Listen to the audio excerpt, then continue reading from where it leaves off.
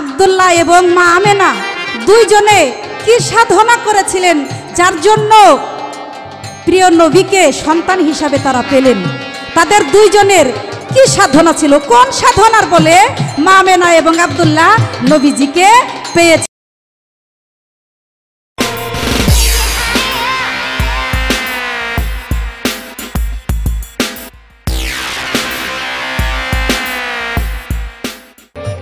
নতুন করে একটি প্রশ্ন করেছেন। রসুল আকরাম সাল্লাহ আলী ওয়াসাল্লাম, দয়াল নবীজি, তিনি কোন সাধনার বলে পিতা আবদুল্লাহ এবং মা মেনা আমার দয়াল নবীকে পেয়েছিলেন? এই পৃথিবীর যত শ্রেষ্ঠ পুরস্কার, সমস্ত শ্রেষ্ঠ পুরস্কারকে যদি এক পাল্লায় দেওয়া হয়, রসুল আকরাম সাল্লাহ আলিয়াল্লামকে যদি এক পাল্লায় দেওয়া হয়, আমার নবীজির পাল্লাটাই ভারী হবে। সেই দয়াল নবী, মায়ার নবী, প্রেমের নবী, নূরের নবী, কেন তিনি পিতা আবদুল্লাহ ঔরসে মা আমেনার গর্ভে দুনিয়াতে এসেছিলেন। আমি যতটুকু সম্ভব বলার চেষ্টা করব, আপনার দু আশীর্বাদ করবেন। আমার নবীজির সানে ছোট্ট করে একটি গান করে আমি তার জবাবে চলে যাব। রহমতুল্লিল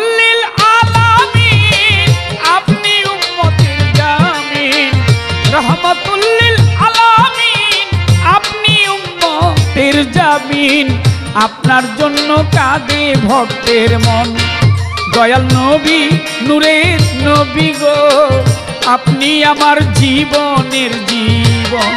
দয়াল নবী, মায়ার নবী গো, আপনি আমার জীবনের জীবন। দয়াল নবী দয়াল নবী গো, আপনি নবী আমার জীবনের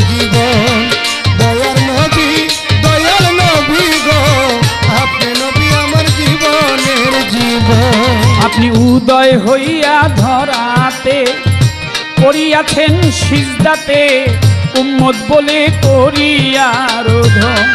আপনি উদয় হইয়া ধরাতে, করিয়াছেন সিজদাতে, উম্মত বলে করিয়া ইহাবলি উম্মতি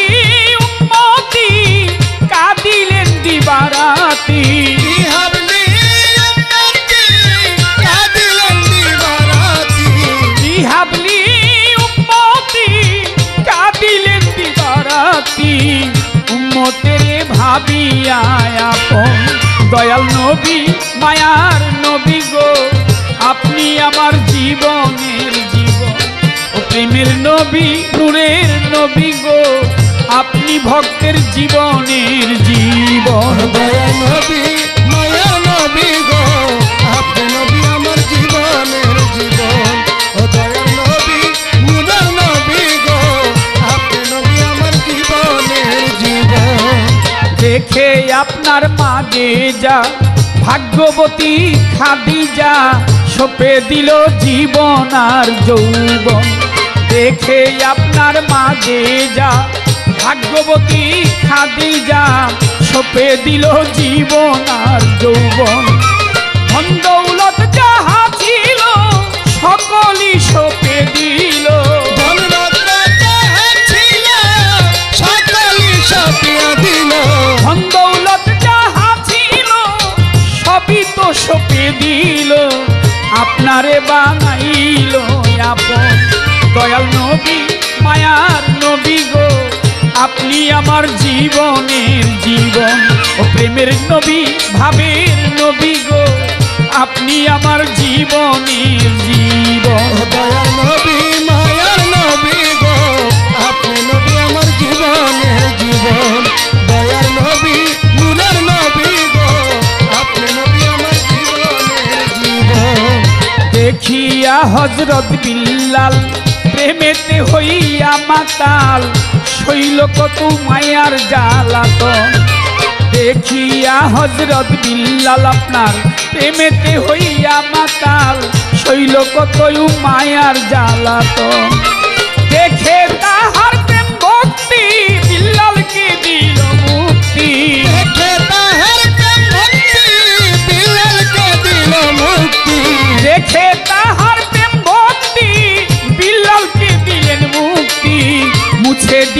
সকল জ্বালাত ও দয়াল নবী, মায়ার নবী গো, আপনি আমার জীবনের জীবন। ও নূরের নবী, ভাবের নবী গো, আপনি আমার জীবনের জীবন। দয়াল নবী, মায়ার নবী গো, আপনি নবী আমার জীবনের জীবন। ও দয়াল নবী মুরের ছবি গো, আপনি নবী আমার জীবনের জীবন। যে দেখিল স্বপনে, ভুলবে না সে জীবনে, দিবানিশি করিবে স্মরণ। যে দেখিল স্বপনে, ভুলবে না সে জীবনে, দিবানিশি করিবে স্মরণ। সেই আশায়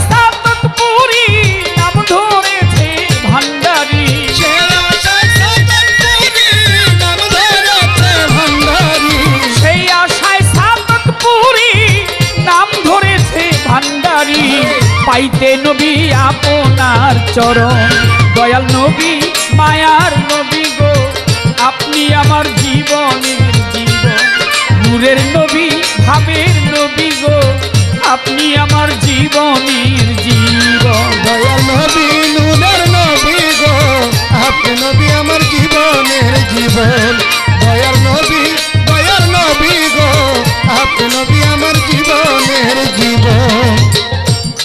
প্রশ্ন করেছে আমার কাছে।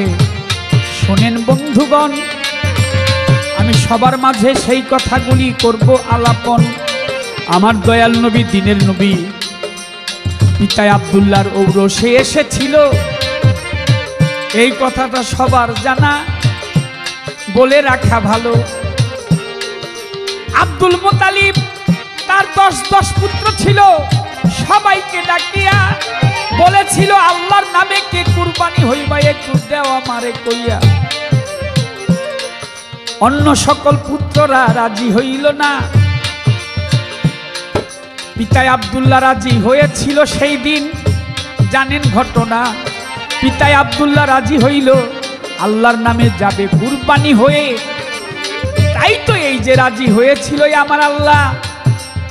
তাকে দিলেন আবদুল্লাহর পেশানেটি দিয়ে আমার নবীকে আবদুল্লাহর পেশানিতে এর জন্য দিয়াছিল কারণ আল্লাহর নামে কুরবানি হইতে আবদুল্লাহ চাহিয়া রইল। পিতাই আবদুল্লাহ আল্লাহর নামে কুরবানি হইতে চায়। কারণ ইব্রাহিম নবীর পুত্র ছিল ইসমাইল জবিউল্লাহ। জানেন যে সবাই, ইসমাইল জবিউল্লাহ আল্লাহর নামে কুরবানি হইতে চেয়েছিল। সেখানে দুম্বা দিল জবাই করে। কিন্তু আবদুল্লাহ কুরবানি হইতে চেয়েছিল অবশেষে একশত উট জবাই করে দেখছি দলিল পরে এর জন্য দয়াল নবীর দুই কুরবানির পুত্র বলেছে, নবীজি দিওয়ানা, পিতা আবদুল্লাহ কুরবানির জন্য তৈয়ার হয়েছিল। জানে আপে সাইরাব্বানা আল্লাহ খুশি হয়ে আবদুল্লার পেশানিতে মোহাম্মদিনুরকে দিল পাঠাইয়া। এর জন্যই পিতাই আবদুল্লাহ আমার দয়াল নবীকে গেলেন পাইয়া। এবার কথায় আসেন, মা আমেনা কোন সাধনায় পায়? ওরে আমার ভাই, সেই কথা সবার মাঝে আমি বলতে চাই। আমার আল্লাহ বলে, ও জিব্রাইল, বলি তোমার ধারে জিব্রাইল, চলে যাও চলে যাও তুমি, চলে যাও দুনিয়ার ভিতরে। হে জিব্রাইল, তুমি দুনিয়ায় চলে যাও। আমি আমার মোহাম্মদ সাল্লাহ আলাইসাল্লাম শ্রেষ্ঠ পুরস্কার আবদুল্লার পেশানিতে দিয়েছি। এখন একজন নারী দরকার। কোন নারীকে আমি এই শ্রেষ্ঠ পুরস্কার কার গর্ভে রাখতে পারি? তুমি দুনিয়ার মানুষের কাছে গিয়ে একটু পরীক্ষা করে আসো। জিব্রাইল দুনিয়ায় আসিল একটা কুষ্ঠ রোগী হইয়া। জিব্রাইল কুষ্ঠ রোগী হয়ে মানুষের দুয়ারে যায় রে চলিয়া। জিব্রাইল আলাইসালাম একটা কুষ্ঠ রোগীর রূপ ধারণ করে মানুষের দুয়ারে দুয়ারে যায়। যার দুয়ারেই যায়, সেই দূর দূর করে তাড়িয়ে দেয়। হ্যাঁ তোমার গায়ে কুষ্ঠ রোগ। খবরদার, এটা ছোঁয়াছুঁই রোগ। একজন যদি আরেকজনকে ছোঁয়, তারও সেই রোগ গায়ে হয়ে যায়। এইভাবে ঘুরতে লাগল, সবাই করল মানা। খবরদার আমাদের বাড়িতে, দুয়ারে দাঁড়ায়ও না। অবশেষে ঘুরতে ঘুরতে ওহাব জহুরির বাড়িতে চলে যায়। ওহাব জহুরির কন্যা ছিল আমার মায়া আমেনা সোহান আল্লাহ মা আমেনার দুয়ারে গিয়ে যখন জিব্রাইল একটা কুষ্ঠরোগীর রূপ ধারণ করে দাঁড়িয়েছে, তখন মা আমেনা সেই কুষ্ঠরোগীকে দেখে তাকে আদর করে নিজের কাপড় দিয়ে যেখানে সেখানে, যেখানে তার রক্ত মাখা, ওইখানে দেয় রে মুছিয়া, ঠান্ডা পানি দিয়ে তারে দেয় আদরও করিয়া, মুছে দেয় আদর করে। হাত বুলাইল গায়, তাই দেখিয়া খুশি হইলেন আমার আপনি মাওলায়। কুষ্ঠরোগীকে আদর করতে লাগলেন শুশ্রা করতে লাগলেন, চিকিৎসা করতে লাগলেন, তাকে ভালোবাসা দিতে লাগলেন, মায়া দিতে লাগবেন কারণ এই পৃথিবীতে আল্লাপাক মানুষের জন্য সমস্ত কিছু সৃষ্টি করেছে। আর মানুষ যদি মানুষকে ঘৃণা করে, তাহলে সে আর মানুষের কাতারে থাকে না। যদিও সে রোগ ছিল গায়ে, রোগ নিয়ে যখন দুয়ার উপস্থিত, মা মেনে এমনভাবে আদর করলেন যে তার কাছে মনেই হলো না তার গায়ের মধ্যে কোনো রোগ আছে। জিব্রাইল আলাইসালাম আল্লাহর কাছে গিয়ে, আল্লাহর দরবারে গিয়ে বলতে লাগলেন হে বারেলাহি, পৃথিবীর সব মানুষ আমাকে দূর দূর করে তাড়িয়ে দিল। কিন্তু ওই যে মা আমেনা, তার দুয়ারে যখন গিয়েছিলাম, সে আমাকে তাড়াইলো না। সে আমাকে আদর করল, আমার গায়ের ঘাওগুলি সে পরিষ্কার করে দিল, মুছে দিল। সে আমার গায়ের মধ্যে পানি ঢাললো আমার মাথায় হাত ভুলালো আমি খুব খুশি হয়েছি। আল্লাহ পাক বলে আমি আল্লাহ দেখেছি আমিও সন্তুষ্ট হয়েছি। মা আমিনার উপরে এর জন্য আমার শ্রেষ্ঠ নিয়ামত শ্রেষ্ঠ পুরস্কার মা আমিনার উদরে আমি দিতে চাই।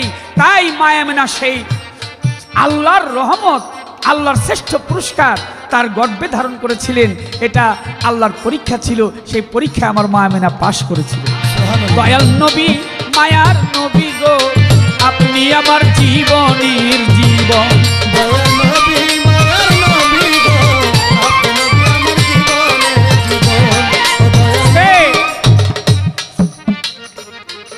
আমার প্রশ্ন থাকবে এবার। চমৎকার একটি গান গেয়েছে, মেরাজের ভেদ জানিয়ে তিনি হচ্ছেন নামে উম্মেহানি উম্মেহানির সাথে রসুল আকরাম সাল্লাহ সাল্লামের কয়েকটি সম্পর্ক ছিল। মূলত পক্ষে উম্মেহানি হল দয়াল নবীর চাচাতো বোন। আবার উম্মেহানি হল ঝিয়ারি। হজরত আলী কুরমুল আজুর বোন ছিলেন, যেহেতু নবীর মেয়েকে, মা ফাতেমাকে আলী করিমুল আজুর হাতে তুলে দিয়েছেন, এর জন্য জিয়ারি সম্পর্কে।